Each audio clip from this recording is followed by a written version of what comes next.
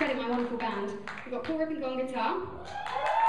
Uh, ben Kelly